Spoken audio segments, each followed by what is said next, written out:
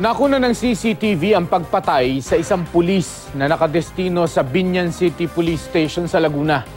Makikita, makikita ang paglalakad ng gunman na nakaputing sombrero, may nakatakip na panyo sa mukha at may dalang sako. Sa isa pang anggulo ng CCTV, makikita si SPO2 Ricardo Pagua Infante sakay ng kanyang motorsiklo. Paglampas ni Infante sa humps, pinagbabaril na siya ng salarin. Pagkatumba ni Infante, pilit kinuha ng gunman ang service firearm nito. Medyo nahirapan pa ang gunman sa pagkuha sa baril. Isang lalaking nakamotorsiklo ang dumating sa lugar para sunduin ang gunman. Pagkakuha sa baril, isinilid niya ito sa sako at umangkas sa kanyang sundo. Ayon sa Binyan Police, matagal nang may death threat si Infante. Inaalam na kung sino ang mga nasa likod ng pagpatay.